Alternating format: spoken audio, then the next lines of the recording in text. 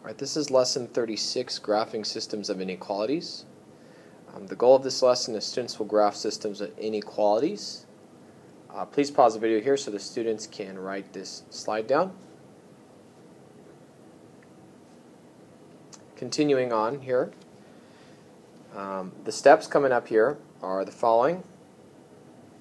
Uh, students, please start writing this down. And um, teacher, please pause the video now so students can write this down.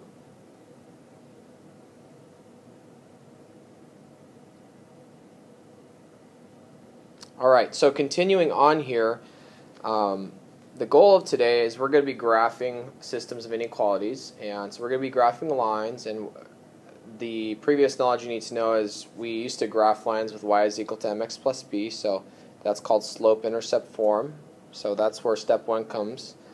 Um, and then we're going to be plotting a couple of equations, okay, and then the big idea is where the solutions are include where the most shaded region is and the adjacent solid lines, okay, meaning the, the lines that are next to the uh, graphs, okay, so here we go. I'm going to show you how to do a couple of problems, and you're going to write these in your notes, all right, so here we go. Number one, we got a couple of problems here, so Number one, this is a system of inequalities. We're going to graph this. So we have two equations here, and we learned how to graph one. Okay, so the best way to do this is focus on one equation at a time. So I'm just going to cover this first equation, okay, or second equation. So you just focus on the first one here. Okay, first equation here. We got to make sure it's in y is equal to mx plus b mode first, or form first, and it is. We know that b is 3, so we're going to go to 3 on r graph on the y-intercept on y-axis and write that down. And then we know our slope is negative 4. And if our slope is negative 4, it means we can make anything a fraction by putting 1 over it, which means the denominator is always positive. So the slope is rise negative 4, run 1. So we're going to go from this point, rise negative 4, 1, run 1. And plot a point here. And we do that again. 1, 2, 3, 4, run 1 should have a point right here, okay? Then we're going to look at our sign right here. Nope, sorry about that. hide that again. We're going to look at our sign, and it says greater than or equal to, so I'm going to use a solid, solid line and graph it with a solid line and put arrows at the end.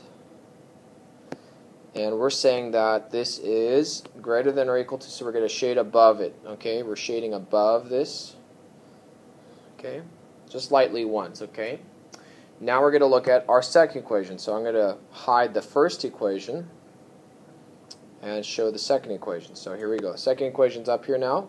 We know our y-intercept is negative 3. So you're going to plot a point at negative 3. And then we say we're saying our slope is 2, so our slope is 2 over 1. Okay, so we're going to rise 2 run 1. And look at that, it shares the point right here already, so we're just going to plot the point again. And keep going, rise 2, run 1. Rise 2, run 1. Okay, so we keep doing that across our graph paper. And on this one, we're looking at our sign It's greater than or equal to also. So we're going to take our points and we're going to connect them with a solid line because it says equal to. Remember from last week. And we're going to draw an arrow at each side of this and we said it's greater than, so we're going to shade above this line. Now, you'll notice that the most shaded region is, or the overlapping region is right here. Okay, so uh, with your pencil, you could shade both regions or everything above this line as greater than. Um, with your pencil, another way to do this that I prefer is that if you know that this is where it's overlapping, okay, I would erase everything else around it so that it's nice and clean looking. Okay, so I would take my pencil or my eraser and just erase around it.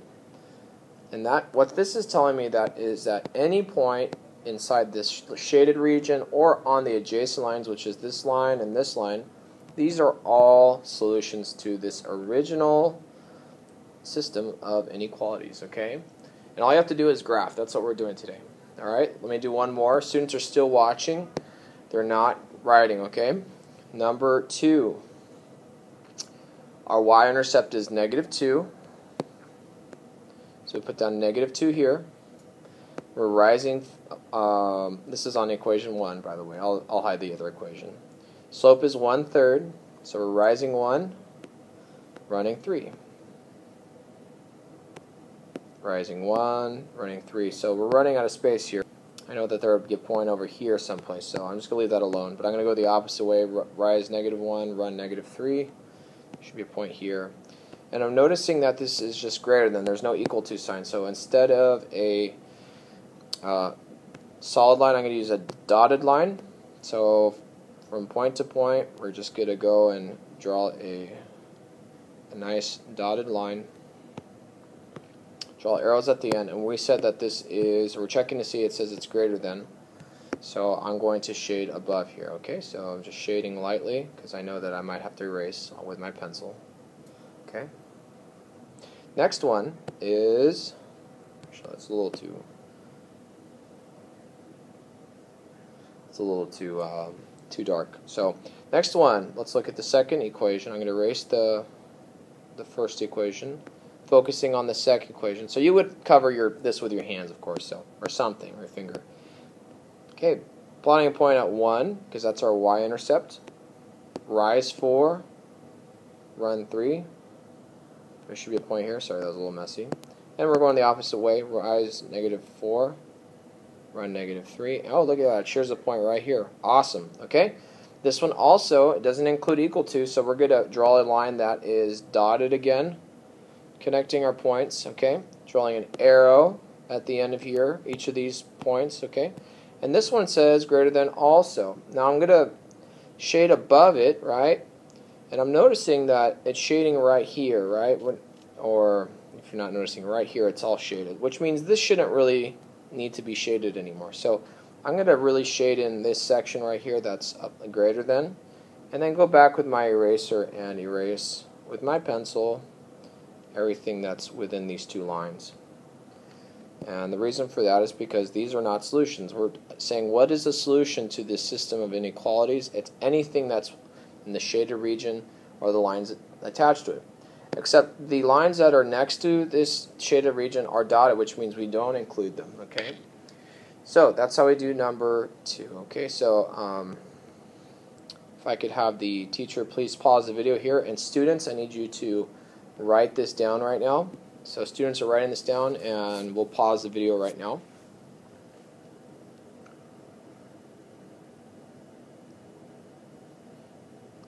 And that's it. Okay, well let's leave this video up here.